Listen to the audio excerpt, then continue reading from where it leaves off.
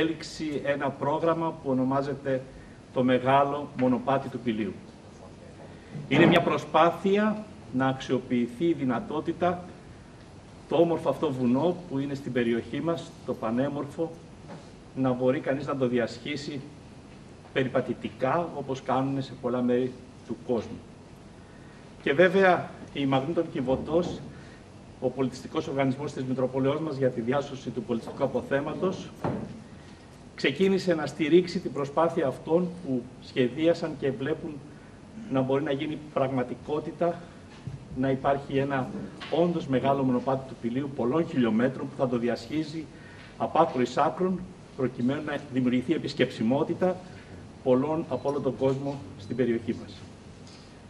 Χάρη στη χορηγία της ΑΓΕΤ που εντάχθηκε στο πρόγραμμα της Εθνικής Επιτροπής της Ελλάδας 2021, αυτό γίνεται πραγματικότητα. Ήδη σχεδιάστηκε και σήμερα θα έχουμε την παρουσίαση της μελέτης αποτύπωσης και σήμανσης του μεγάλου μονοπατιού του Πηλίου. Θα γίνουν εισηγήσεις από την κυρία Κατερίνη Ζαγκαρέτου, που είναι δασολόγος, περιβαντολόγος από το Αριστοτέλειο Πανεπιστήμιο Θεσσαλονίκης και από τον κύριο Τριαντάφυλλο Αδαμακόπουλο, που είναι πολιτικός μηχανικός και χωροτάκτης του Δημοκρίτιου Πανεπιστημίου Θράκης.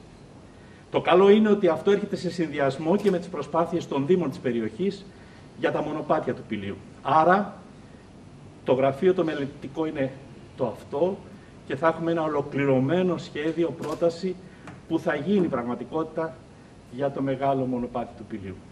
Χαιρόμαστε αν σταθήκαμε αφορμή με τη Μαγνήτων Κιβωτό όλα αυτά πλέον να είναι μια πραγματικότητα που θα εφαρμοστεί και εύχομαι το συντομότερο να μπορούμε όσοι αντέχουν τουλάχιστον ένα μέρος του μονοπατιού να το περπατήσουμε.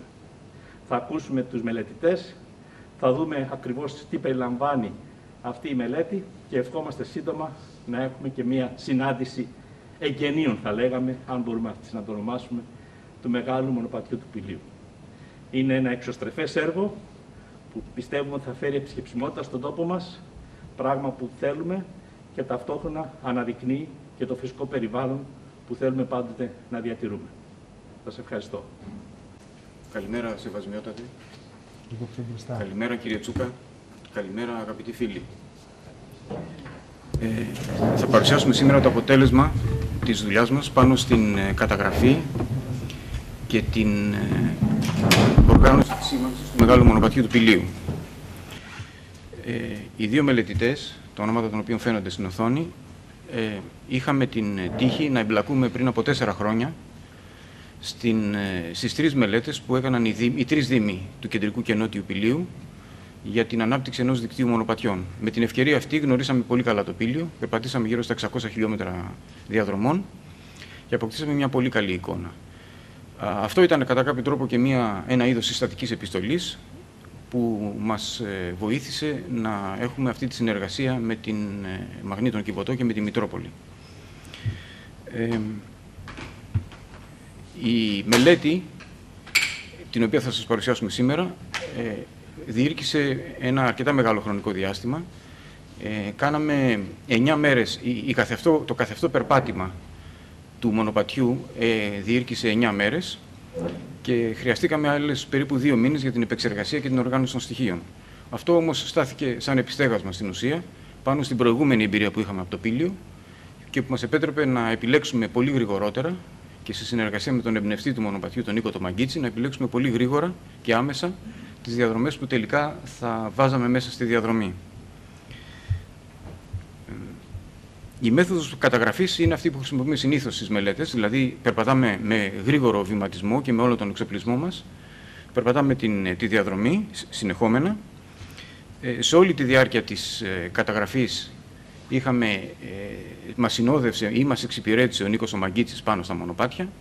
Πολύ σημαντική ήταν και η βοήθεια, η επιμελητία θα έλεγα, που μας παρήχε ο Νίκος ο Τσούκας, ο οποίος φρόντισε όλα τα θέματα της διαμονής, διατροφής κτλ ουσιαστικά παρακινώντας τους επιχειρηματίες της περιοχής να μας δεχτούν. Η υποδοχή που είχαμε δεν ήταν απλή φιλοξενία. Στην ουσία ε, δέχθηκαν, ε, κατανόησαν πόσο σημαντικό ήταν να υπηρετήσουν αυτή την, ε, την υπόθεση του μεγάλου μονοπατιού και να συμβάλλουν με τον τρόπο τους όπως μπορούσαν. Και μάλιστα αυτό έγινε, πρέπει να το επισημάνουμε, μέσα σε συνθήκες, μέσα σε ένα κλίμα ιδιαίτερα δύσκολο, ιδιαίτερα σκληρό και δυσίωνο για τον τουρισμό της Μαγνησίας, μέσα στην πιο σκληρή φάση της καραντίνας. Παρ' όλα αυτά, όλοι οι συντελεστές, είτε ήταν μεταφορείς, ε, ταξιτζίδες, ε, ξενοδόχοι, εστιατόρε κτλ., μας εξυπηρέτησαν με τον καλύτερο δυνατό τρόπο.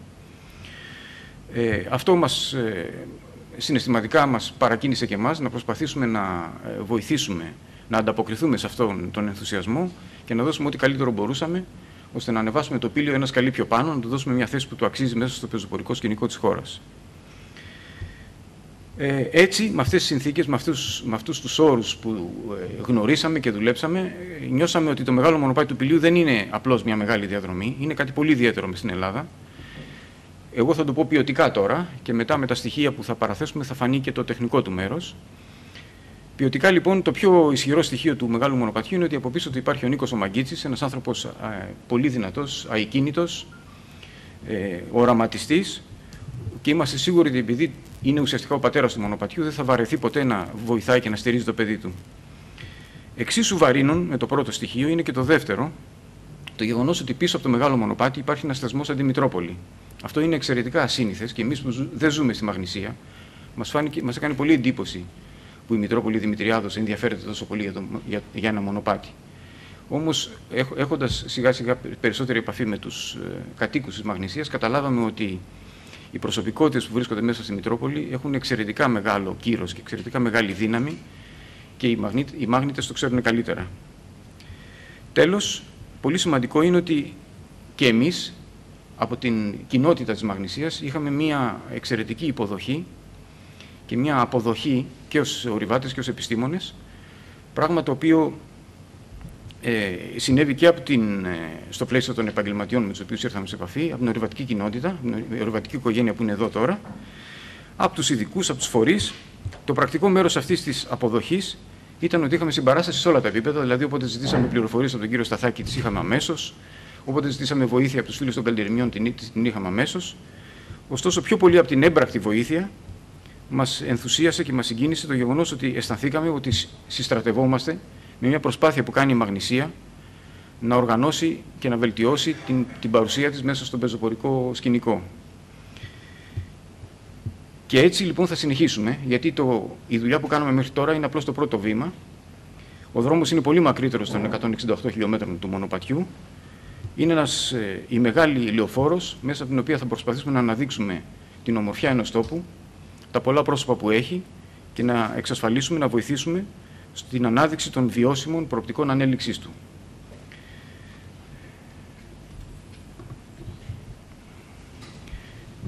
Ε, θα ε, κάνω μια πολύ σύντομη παρουσίαση των μετρητικών στοιχείων του μονοπατιού. Παράλληλα παίζει μια, ένα είδος βίντεο που δείχνει τη διαδρομή με τις χιλιομετρικές αποστάσεις από την εκκίνηση, από το καμάρι, μέχρι κάτω το τρίκερι και τις ε, πινακίδες, τη σήμανση που έχουμε προβλέψει, τη σήμανση, τις πινακίδες πάντοτε, όχι τα μικρά πινακιδάκια, για να, πράγματα τα οποία θα τα συζητήσουμε αμέσως μετά για να έχετε μια γενική εικόνα. Το μεγάλο μονοπάτι λοιπόν ε, ξεκίνησε από μια πρόταση του Νίκου του Μαγκίτσι, την οποία βελτιώσαμε με εισρωή του Κυριάκου του Σταθάκη, και άλλες ε, ιδέες που είχαμε καθοδόν και κατέληξε μια διαδρομή η οποία κάνει ένα μεγάλο ζυγζάκ μέσα στον ε, ορεογραφικό άξονα του πηλίου. Το ζυγζάκ το κάνει γιατί ε, σκεφτήκαμε ότι θα ήταν πολύ ωραίο πέραν των ορεινών τοπίων να μπορεί κανείς να δει και τα παράκτια τοπία. Έτσι έχουμε τέσσερις επαφές με τη θάλασσα, τέσσερα σημεία στα οποία περνάμε από τη θάλασσα, μάλιστα μία είναι παρατεταμένη. Ε, ωστόσο, ο, το κύριο νήμα του μονοπατιού κινείται ανάμεσα στα ορεινά χωριά και ε, πάνω στις, ε, σε δύο από τις ψηλότερες κορφές του πηλίου, το Σκιτζουράβλι και τη Δραμάλα. Ε, η διαδρομή έτσι όπως ε, κατέληξε μετά από τις διάφορες αλλαγές και βελτιώσεις που κάναμε, έφτασε να έχει μήκος 168 χιλιόμετρα. Ε, η, το μέγιστο υψόμετρο στο οποίο φτάνει είναι η Δραμάλα που είναι 1455 μέτρα. Το ελάχιστο υψόμετρο φυσικά είναι το υψόμετρο της θάλασσας και η συνολική ανάβαση, δηλαδή αν αθροίσουμε όλες τις ανηφόρες που κάνει κανείς περπατώντας αυτό το, τα 168 χιλιόμετρα, είναι 7.100 μέτρα. 7.100 μέτρα είναι οι κορυφές του Παμίρ στα, στην Κεντρική Ασία, στα Ιμαλάγια. Κάνει λοιπόν κανείς μία, ε, κυριολεκτικά, αν το διασχίσει όλο, κάνει μία ανάβαση στα Ιμαλάγια. Άλλο τόσο, άλλα 7.100 μέτρα, είναι και η κατάβαση που θα κάνει κανείς, ολοκληρώνοντας τη διαδρομή, γιατί φυσικά ξεκινάμε από τη θάλασσα και καταλήγουμε στη θάλασσα. Οπότε ό,τι ανεβαίνουμε το ξανακατεβαίνουμε, το ξαναχάνουμε. Συνολικά λοιπόν έχουμε μία ε, υψομετρική κλιμάκωση 14.200 ε, μέτρων. Αν έκανε κανείς αυτήν όλη την απόσταση των 168 χιλιόμετρων και των 14 χιλιόμετρων πάνω κάτω, αν την έκανε συνέχεια, εντάξει, δεν γίνεται βέβαια, θα το έπαιρνε 68 ώρες. Ε, εννοείται ότι για πρακτικούς λόγους έχουμε κατατμήσει τη διαδρομή σε ημερήσια τμήματα λογικής χρονοαπόστασης. Ε, μερικά είναι κάπως μεγαλούτσικα για τον μέσο πεζοπόρο, μερικά είναι κοντά σε αυτό που μπορεί να κάνει ακόμα και μια οικογένεια. Ε, η κατάθμιση αυτή των 11 ε, τμήματων που αποφασίσαμε δεν είναι περιοριστική, γιατί υπάρχουν ενδιάμεσα χωριά και μπορεί κανείς να κάνει μεγαλύτερη κατάθμιση ή μικρότερη. Ε, εν πάση περιπτώσει αυτό το 11ήμερο είναι μια λογική ε, δομή, την οποία μπορεί να την κάνει μια ομάδα σχετικά έμπειρων πεζοπόρων. Θα μπορούσε κανείς να το κάνει τρέχοντας σε 5, 6, 7 μέρες ή θα μπορούσε να το κάνει κανείς πιο τουριστικά, πιο ήπια, σε 15 μέρες. Δεν έχουμε προβλέψει, σε αυτές τις 11 μέρες δεν έχουμε προβλέψει καμία στάση. Είναι συνεχόμενες οι, οι πεζοπορίες από τη μία μέρα στην επόμενη. Προφανώς μπορεί κανείς να σταθεί στην Ταμούχαρη ή να κάτσει στην Άφησο ή να κάτσει στον Πλατανιά ή να κάνει τον μπάνιο του και να συνεχίσει την επόμενη μέρα. Ε, όπως είπα, είναι η ιδέα του για το μεγάλο μονοπάτι ήταν του Νίκου του Μαγκίτσι. Ήταν ευτυχές ότι αυτή η πρόταση του Μαγκίτσι υιοθετήθηκε άμεσα και με ενθουσιασμό από, την, ε, από τον φορέα της Μητρόπολης, την ε, Μαγνήτων Κιβωτό και όπως είπε ο Σεβασμιότατος, έτυχε μετά από συνεννοήσεις έγινε δεκτό να χρηματοδοτηθεί, να υπάρξει μια ε, χορηγία από την ΑΓΕΤ Ηρακλής. Το, και το έργο εντάχθηκε επίσης στις εκδηλώσεις για το Ελλάδα 2021. Τα μετρητικά στοιχεία σας τα είπα, εδώ βλέπουμε ένα συνοπτικό χάρτη της περιοχής. Βλέπετε το zigzag το οποίο ανέφερα προηγουμένως, που κατεβαίνουμε δηλαδή στον Άγιο Νούφριο, γυρίζουμε στην Ταμούχαρη, κατεβαίνουμε Άφησο, γυρίζουμε Πλατανιά κτλ. Ε, έχουμε μία παράκτια πορεία ανάμεσα στην Άφησο και το Λεφόκαστρο. Τέλος υπάρχει έντονη επαφή με τη θάλασσα. Πάμε να δούμε λίγο τα ημερήσια τμήματα τώρα σε αυτή την 11ημερη κατάτμιση που έχουμε κάνει. Σε μερικούς είναι πολύ γνωστές διαδρομές. Ε, Μερικές από αυτές, όπως είπα, μας τις πρότεινε ο κ. Σταθάκη που τις ήξερε, εμείς δεν τις ξέραμε, πήγαμε, τις ψάξαμε, τις καταγράψαμε φυσικά. Το πρώτο τμήμα λοιπόν είναι να ανεβούμε από το καμάρι που είναι κάτω στη θάλασσα, είναι το μικρό επίνιο του κεραμιδίου, να ανεβούμε στο κεραμίδι που είναι κατά κάποιο τρόπο το κεφαλοχώρι της περιοχής, είναι το χωριό με τις πιο πολλές εξυπηρετήσεις και από εκεί να περάσουμε στο Βένετο. Είναι, ε, έχουμε υποθέσει, ελπίζω σωστά, ότι η ροή από βορρά προς νότο έχει κάποια πλεονεκτήματα, ίσως ψυχολογικά περισσότερο, ότι κανείς έχει την αίσθηση ότι κατεβαίνει στο χάρτη από πάνω προς τα κάτω. Ε, όμως δεν είναι μόνο αυτό, είναι ότι και η, η εξέλιξη των τοπίων είναι ιδιαίτερα ενδιαφέρουσα σε αυτή την, την κατεύθυνση παρά στο ανάποδο. Έτσι έχουμε πει ότι το καμάρι Βένετο είναι το πρώτο σκέλος, το βορειότερο και ε, έχουμε επίσης το ενδιαφέρον ότι αμέσως μπαίνουμε σε ένα κεφαλοχώρι, στο κεραμίδι, το οποίο έχει καταστήματα που μπορεί κανείς να πάρει προμήθειες και να οργανώσει την επόμενη πορεία του. Αυτή η διαδρομή, όπως βλέπετε, είναι 17 χιλιόμετρα, θέλει 7 ώρες, έχει μια αρκετά καλή ανάβαση. Βλέπετε το υψομετρικό προφίλ ότι ανεβαίνουμε από τα 0 στα, 5, στα 586 μέτρα και μετά ξανακατεβαίνουμε λίγο για το Βένετο. Τα μονοπάτια είναι ήπια και δεν είναι σκληρή η διαδρομή, παρόλο την απόστασή της και την χρονοδιάρκεια, τη διάρκεια της είναι αρκετά βατή. Αμέσως μετά έρχεται μια πολύ ενδιαφέρουσα διαδρομή, ε, μεγάλης ιστορικής σημασίας, γιατί χρησιμοποιεί το προσκυνηματικό μονοπάτι που ε, περπατούσαν ανέκαθεν οι κάτοικοι του Βένετου για να πάνε στο μοναστήρι τους, στο Φλαμούρι. Αυτό το μονοπάτι σήμερα έχει κάποια προβλήματα βατότητας, έχει απολέσει και ένα τμήμα του λόγω ενός δασόδρομου, πάντως είναι σε καλή κατάσταση και μπορεί να αποκατασταθεί. Ένα από τα, πέραν των μοναστηριών, των δύο μοναστηριών του Φλαμουρίου δηλαδή και της Σουρβιάς, ε, άλλο, το, το περιβάλλον έχει ιδιαίτερο ενδιαφέρον γιατί περνάμε από, δάσιο, από, από, τους, από ψηλούς θαμνώνες σε δάσιο οξιάς, πολύ μεγάλη αναλλαγή, εντυπωσιακή αναλλαγή. Τα μοναστήρια έχουν πολύ, μεγάλη, πολύ μεγάλο ενδιαφέρον και αρχιτεκτονικό και ιστορικό. Ε, στην ε, Μονή Φλαμουρίου έχουμε, μπορεί κανείς να φιλοξενηθεί ή να δεχθεί κάποιες, κάποια ε, ε, εξυπηρέτηση τηρουμένου όμως το γεγονότος ότι ισχύει το άβατο για γυναίκες, δηλαδή δεν μπορούν να μπουν οι γυναίκες μέσα στον περίβολο. Εν πάση περιπτώσει υπάρχει νερό απ' έξω, είναι σε ένα, ένα πολύ ενδιαφέρον αγροτικό τοπίο το, το λιβάδι που βρίσκεται το, το μοναστήρι. Η Μονή Σουρβιάς είναι έρημη αυτή τη στιγμή, είναι όμως σε φάση αποκατάστασης και υπάρχει νερό. Ε, έχουμε υποθέσει ότι μπορεί κανείς να δεχθεί τις υπηρεσίες μιας ε, εταιρείας που θα του κάνει μεταφορά αντίσκηνων και τροφίμων στη Μονή Σουρβιάς όπου φτάνει δρόμος και θα έμενε στη Σουρβιά το βράδυ η ομάδα. Αν ε, αυτό δεν είναι εφικτό, μπορεί κανείς να συνεχίσει να κάνει και το επόμενο τμήμα και να φτάσει μέχρι τη Μακρινίτσα. Είναι δύσκολο βέβαια όλο αυτό. Εν πάση περιπτώσει, εγώ θα μιλήσω για το τρίτο τμήμα ως ανεξάρτητο. Από τη Μονή Σουρβιάς, ένας συνδυασμός από μονοπάτια και χωματόδρομους, δασικούς δρόμους, Μας φέρνει μέχρι πάνω από τη Μακρινίτσα. Η περιοχή αυτή είναι έρημη ανάμεσα στα δύο αυτά άκρα. Δεν έχει ούτε οικισμούς ούτε άλλη ε, ε, μόνιμη ανθρώπινη παρουσία. Η μόνη δραστηριότητα ανθρώπινη που θα συναντήσουμε είναι οι υλοτομικές εργασίες και η αγροτική δραστηριότητα στο τρανό ίσωμα που είναι και αυτή περιορισμένη. Ε, αυτή η διαδρομή είναι σχετικά, βλέπετε και από το υψομετρικό προφίλ, είναι σχετικά ομαλή, δηλαδή δεν έχει, παρόλο που περνάει από μεγάλο υψόμετρο, έχει μικρή υψωματική κλιμάκωση και είναι σχετικά ξεκούραστη. Και μας φέρνει στη Μακρινίτσα που είναι ο οικισμός με το μεγαλύτερο ενδεχομένως ενδιαφέρον, αρχιτεκτονικό και ιστορικό στην περιοχή του Πηλίου, του κεντρικού Πηλίου και βρίσκεται σε ένα σημείο με εξαιρετική θέα, είναι ιδανικό μέρος για να κάνει κανείς μια μεγάλη ανάπαυλα. Από εδώ η διαδρομή κατεβαίνει μέσα από την Κουκουράβα, από το κεντρικό μονοπάτι, το κλασικό καλτερίμι της ε, Μακρινίσας, μέσα από την Κουκουράβα, Κουκουράβα κατεβαίνει στον Άγιο Νούφριο, περνώντας από τον Άγιο Νικολάκη. Ε, από τον Άγιο Νούφριο θα ανεβούμε στους ε, σταγιάτες, θα πάμε πορταριά από, το, από τα ήδη γνωστά και σηματοδοτημένα και ενταγμένα και στο πρόγραμμα των Δήμων μονοπάτια και θα συνεχίσουμε μέχρι τα Χάνια, περνώντας από το Σανατόριο Καραμάνι.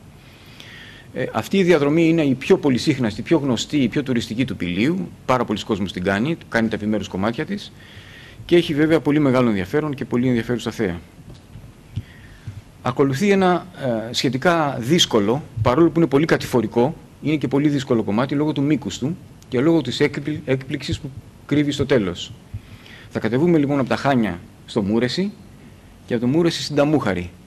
Εκεί τελειώνουν λίγο τα ωραία, γιατί έχουμε μια μεγάλη ανάβαση, γύρω στα 500 μέτρα υψομετρική, μέχρι να βγούμε στην Τζαγκαράδα, στον οδικό άξονα της Τζαγκαράδας. Η διαδρομή είναι 23,7 χιλιόμετρα, δεν είναι λίγο, θέλει 9 ώρες. Ε, υποθέτουμε ότι ψυχολογικά κανείς με την ελπίδα ότι φτάνει στο, στην ωραία Τσαγκαράδα θα κάνει κουράγιο και θα το ξεπεράσει. Σε αντίθετη περίπτωση, υπάρχει δυνατότητα να μείνει στην Ταμούχαρη, όπως υπάρχει δυνατότητα να κάνει μια μικρή παρέκκληση και να πάει στον Αγιάννη, στην Πλάκα, που υπάρχουν άπειρες υποδομές διαμονής και να μείνει εκεί. Και ε, φυσικά μετά από ένα 9ωρο περπάτημα θα μπορούσε κανείς να δώσει στον εαυτό του την ευκαιρία μιας ανάπαυλας και να μείνει ένα βράδυ, μια μέρα ολόκληρη στην Τζαγκαράδα ή στην Ταμούχαρη ή στον Αγιάννη και να συνεχίσει την επαύριο. Αν όμως επιμένει να συνεχίσει, έχουμε ε, προβλέψει ένα ευχάριστο σύντομο και με πολύ μικρή υψομετρική διαφορά κομμάτι, τεσσάρων ωρών, που συνδέει την Τζακαράδα με τις Μιλιές. Ε, αυτό είναι κατά κάποιο τρόπο ένα διάλειμμα, γιατί είναι εύκολο και σύντομο, στο όλο περπάτημα. Από την Τζακαράδα περνάμε ε, αμέσως από το, μονο, από το γεφύρι της Τζακαράδας, το οποίο ξέρουμε όλοι ότι έπεσε πρόσφατα και με ενέργειες της Μητρόπολης βρίσκεται σε μια ε, φάση που έχει προβλεφθεί η ανακατασκευή του. Ε, πάντως το ρέμα περνάει εύκολα, ειδικά το καλοκαίρι, δεν υπάρχει κάποιο ε, ζήτημα κινδύνου ή άλλο, άλλο τεχνικό πρόβλημα, είναι εύκολο το ρέμα, οπότε η, η ζεύξη γίνεται, είναι εφικτή. Από τις μιλιές, όπου κανείς μπορεί να μείνει και να ε, ανεφοδιαστεί, υπάρχουν ε, κάθε είδους καταστήματα και υπηρεσίες, ακολουθεί ένα μεγάλο κατηφορικό ως επιτοπλίστων, πάλι με τα ανεβοκατεβασματάκια του, τμήμα που πάει στο φράγμα του Παναγιώτικου μετά ανηφορίζεις στους αφέτες, έχει αρκετή ανηφόρα εκεί, σε δασικό δρόμο ευτυχώς, και από εκεί κατεβαίνει στη θάλασσα στην Άφησο. Ε, μεγαλούτσικο κομμάτι, έξι ωρών, αλλά ευτυχώς κυρίως κατηφορικό. Το επόμενο τμήμα είναι και αυτό κατά κάποιο τρόπο σαν διάλειμμα, γιατί είναι το μεγαλύτερο μέρος, βλέπετε τα, ε, την, ε, τη μικοτομή κάτω, τα υψόμετρα, ε, είναι πολύ μικρά ανεβοκατεβάσματα δίπλα στη θάλασσα, των, της τάξης των 30-40 μέτρων. Ε, περπατάμε πάνω στον άσφαλτο από την Άφησο μέχρι το Λεφόκαστρο. Ευτυχώς είναι ένα, μια διαδρομή που παρόλο το ασφάλτινο υπόστρωμα έχουμε ωραία θέα προς τη θάλασσα, έχει ενδιαφέρουσα βλάστηση, είναι σχετικά φυσικό το τοπίο, δηλαδή δεν, δεν ενοχλείται κανείς να κάνει αυτή τη διαδρομή. Ακολουθεί μετά η ανάβαση, το, κομμάτι, το μονοπάτι μέχρι τον Κάλαμο και μετά η ανάβαση στην, στην Αργαλαστή που είναι πολύ ωραία τοπία, πολύ ωραία μονοπάτια που βελτιώνουν την, ε, την εικόνα αυτή. Στην Αργαλαστή έχουμε, είναι η έδρα Δήμου, έχει τα πάντα, μπορεί κανείς να ανεφοδιαστεί, μπορεί να παραμείνει, να ξεκουραστεί και να συνεχίσει την επόμενη. Ε, εν πάση περιπτώσει, ε, το επόμενο, το ένατο σκέλος, είναι και αυτό έντονα κατηφορικό, έχει όμως και αυτό την ε, ανηφορίτσα του. Θα πρέπει από την Αργαλαστή να πάρουμε τον παλιό δρόμο, το μουλαρόδρομο που πήγαινε στο Λάφκο, ο οποίος σήμερα έχει γίνει όλος σχεδόν, ε, το μεγαλύτερο μέρος του έχει γίνει χωματόδρομος, αλλά είναι ένας ήσυχος χωματόδρομος, σαν πλατή μονοπάτι, μέσα σε ψηλό θαμνώνα. Φτάνουμε στο Λάφκο, που είναι περίπου το ψηλότερο σημείο της διαδρομής. Περνώντας από την ωραία πηγή που βλέπετε, είναι ακριβώς κάτω από το χωριό, την ωραία κρήνη. Και από το Λάφκο κατηφορίζουμε μέσα από δρυοδάση και θαμνώνες προς τον ε, Πλατανιά. Στον Πλατανιά επίσης θα βρούμε αρκετές εξυπηρετήσεις, είναι τουριστικό χωριό, ε, όλη, σε όλη τη διάρκεια του χρόνου υπάρχουν ανοιχτά μαγαζιά που μπορεί κανείς να ανεφοδιαστεί και να συμπληρώσει τις προμήθειές του. Το δέκατο και πρώτο τελευταίο ε, κομμάτι είναι ένα επίσης πολύ ξεκούραστο, μη σας παρασύρει το, πολύ, το έντονο ανεβοκατέβασμα της μικοτομής, δείτε τα υψόμετρα, είναι γύρω στα 100 μέτρα φτάνουμε σε υψόμετρο. Ε, είναι πολύ μικρές διακυμάνσεις δηλαδή. Ε, είναι μόλις 5 ώρες σε ένα πολύ ήσυχο και ήμερο τοπίο κοντά στη θάλασσα. Περνάμε από δύο πολύ ωραίες παραλίες. Το μικρό, παραβλέπω την παραλία του Πλατανιά την οποία αφήνουμε, που είναι ήδη ενδιαφέρουσα. Περνάμε από το μικρό και από τη χοντριά μου. Και μετά ε, έχουμε προβλέψει να γυρίζει η διαδρομή προς το Βαλτούδι, που είναι μέσα στον Παγασιτικό, όπου υπάρχουν δωμάτια και μπορεί κανείς να μείνει. Ωστόσο, επειδή το κομμάτι είναι 5 ώρες, δεν είναι πολύ μεγάλο, αν κανείς είναι η εποχή ακατάλληλη, δηλαδή δεν είναι ανοιχτά τα δωμάτια ή για κάποιον άλλο λόγο θέλει, μπορεί και θέλει να συνεχίσει, μπορεί να κάνει το επόμενο τμήμα, το οποίο είναι ενδεχομένως το ωραιότερο της διαδρομής. Είναι ένα κομμάτι που εμάς, την ορειβατική οικογένεια τέλος πάντων που μας αρέσουν αυτά τα άγρια τοπία, μας άρεσε πάρα πολύ. Είναι η εντυπωσιακή κορυφογραμμή του Τισέου, που ελπίζουμε να μην ε, γεμίσει ανεμογεννήτρια στο επόμενο διάστημα. Ε, είναι μια, ε, το κομμάτι αυτό το ενδέκατο και τελευταίο είναι μία από τις ωραιότερες διαδρομές που μπορεί να κάνει κανείς στο Πήλιο. Ε, ανεβαίνουμε από το Βαλτούδι που είπαμε ότι έχουμε προβλέψει τη δυνατότητα διαμονής, ανεβαίνουμε στην κορυφή που είναι στα 650 μέτρα, μέσα σε ένα τοπίο ασβεστόλιθου, διαφέρει από το υπόλοιπο πύλιο, δεν έχει νερά, δεν έχει βλάστηση, είναι μόνο θαμνώνες και ξερό τοπίο, βράχινο. Όμως το περπάτημα είναι, παρόλο που από μακριά φαίνεται δύσκολο και λίγο έτσι ανησυχητικό, όταν το πλησιάσεις βλέπεις ότι είναι, πατιέται παντού, δεν υπάρχει πρόβλημα, οι κλήσεις δεν είναι απότομες. Ε, περνάμε λοιπόν από το Τισέο, από την κορυφή, κατεβαίνουμε προς την Καναπίτσα και από εκεί πηγαίνουμε στο χωριό Τρίκερι, με μια ανάβαση σε, εύκολα, σε εύκολο πεδίο. Από το Τρίκερι ε, θα πάρουμε το, την τελική κατηφόρα που έχει μια, ένα υπέροχο καλντερίμι, συνεχές αδιάκοπο μέχρι τη θάλασσα, με εξαιρετική θέα προς την, προς την Αγία Κυριακή και την, ε, το Αιγαίο πλέον, δηλαδή θα γυρίσουμε ξεκινώντας από το Βαλτούδι που είναι στον παγασιτικό, θα διασκελίσουμε ουσιαστικά την, τον άξονα του, του πηλίου, τον άξονα του, της μαγνησίας και θα πέσουμε στο Αιγαίο. Εδώ κλείνουμε το κομμάτι έτσι, της περιγραφής των ημερήσεων τμήματων. Θα δώσω το λόγο στην κυρία Ζαγκαρίτου που θα σας πει τα πιο τεχνικά στοιχεία ε, πάνω στη σήμανση και στην βελτίωση της διαδρομής. Καλησπέρα και από μένα. Ε, θα ήθελα και εγώ με τη σειρά μου να ευχαριστήσω το σεβασμιότατο Μητροπολίτη Δημητριάδο Σιγνάτιο που έδωσε την ευλογία του για αυτό το έργο και τον γραμματέα Νίκο Τσούκα που μας στήριζε καθ' όλη τη διάρκεια της μελέτης και ελπίζουμε να έχουμε και την εντυπωσιακή στήριξή τους στη συνέχεια. Θα, θα αναφέρουμε κάποια πράγματα για, τα, για τις διάφορες παρεμβάσεις διαφόρων τύπων που θα γίνουν στο μονοπάτι σχετικά με τη βελτίωση της αξίας και της βατότητας. Δύο είναι τα βασικά πλαίσια παρέμβασης. Το πρώτο αφορά στη σήμανση και το δεύτερο στις εργασίες καθαρισμού των μονοπατιών. Η σήμανση αποτελείται από τρία κύρια στοιχεία. Πινακίδες διαδρομής που τοποθετούνται στην αρχή και στο πέρας κάθε ημερήσιου σκέλους, στον οικισμό εκκίνησης και στο τέλος του, της διαδρομής, πινακίδες ερμηνείας περιβάλλοντος που θα μπουν σε συγκεκριμένες θέσεις, επισημένοντας τα εξέχοντα στοιχεία του φυσικού και ανθρωπογενούς περιβάλλοντος και τα διάφορα σημεία ενδιαφέροντος. Θα υπάρχουν επίσης επιβεβαιωτικά σημάδια, τα οποία θα βοηθούν στον προσανατολισμό του πεζοπόρου και θα γίνουν και κάποιες ε, ήπιες παρεμβάσεις καθαρισμού, λόγω κυρίως της ε, βλάστησης που αναπτύσσεται κάθε χρόνο. Θα είναι, όπως είπαμε, ήπιες και οι απολύτως αναγκαίες, σε πολύ μικρή κλίμακα. Θα ακολουθηθούν οι προδιαγραφές της ΚΙΑ για τα μονοπάτια του 2017, πάντα σε συμφωνία με το δασαρχείο και με σεβασμό στη φύση. Συνολικά έχουμε 12 πινακίδες διαδρομής, 13 πινακίδες ερμηνείας, πολιτισμού και περιβάλλοντος και 1.800 επιβεβαιωτικά σημάδια κατά μήκος όλου του μονοπατιού. Εδώ μπορούμε να δούμε μία πινακίδα διαδρομής, η οποία θα τοποθετηθεί ανάμεσα στο πρώτο και στο δεύτερο ημερήσιο τμήμα. Για κάθε ημερήσιο τμήμα, θα, όπως είπαμε, θα υπάρχουν δύο πινακίδες. Θα τοποθετηθούν σε εμφανή θέση στο κέντρο του οικισμού και σε ορατές, ορατές θέσεις, προσ, ε, προσέχοντας πάντα να προστατεύονται από διάφορα ατυχήματα, βανδαλισμό και από τα στοιχεία της φύσης.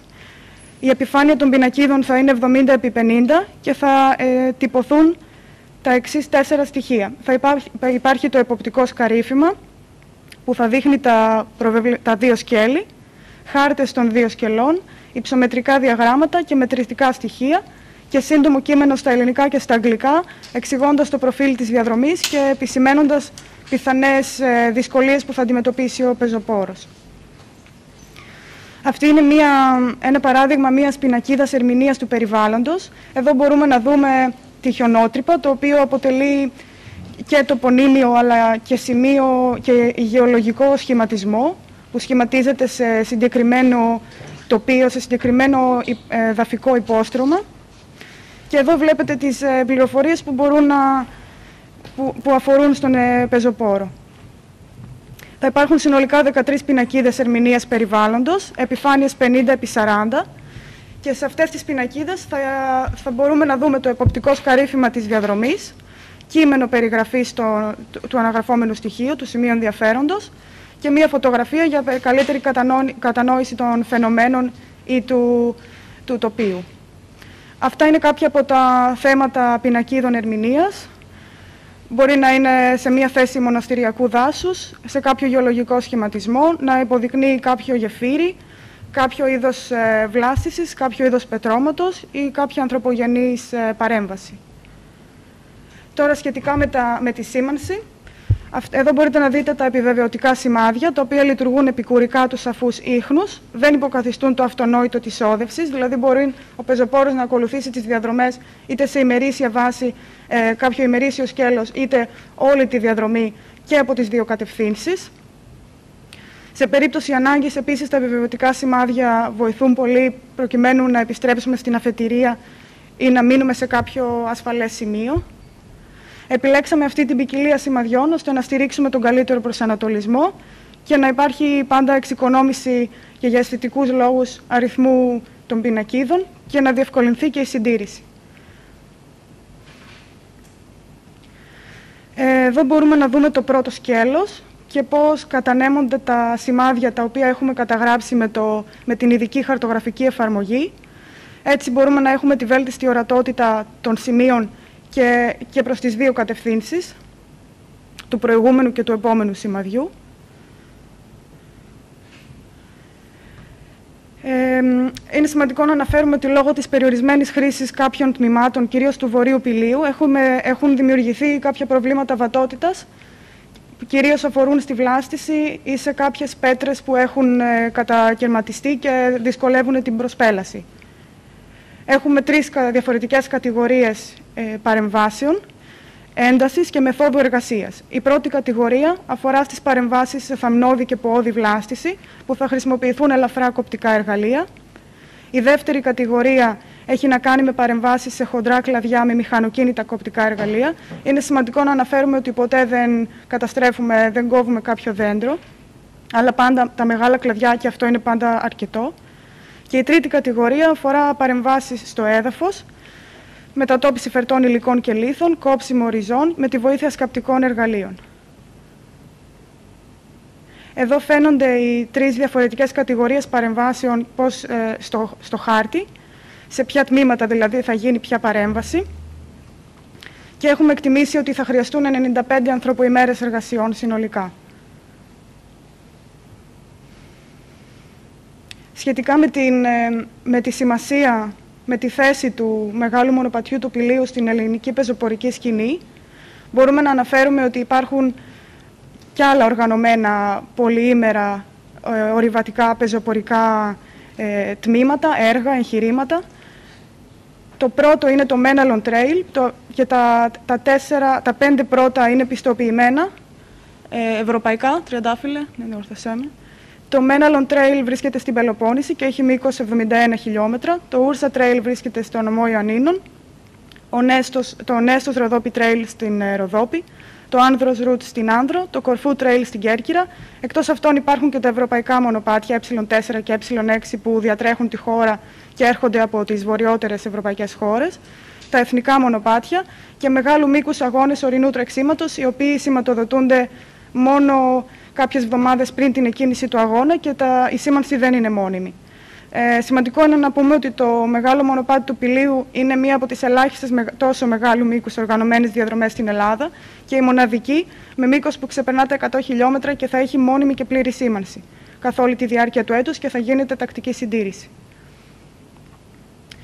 Ε, ένα σημαντικό χαρακτηριστικό της, ε, όλου αυτού του έργου είναι ότι το μεγάλο μονοπάτι του πηλίου δεν απευθύνεται αποκλειστικά σε έμπειρους πεζοπόρους, ούτε αποτελεί έναν άθλο για τον περιπατητή.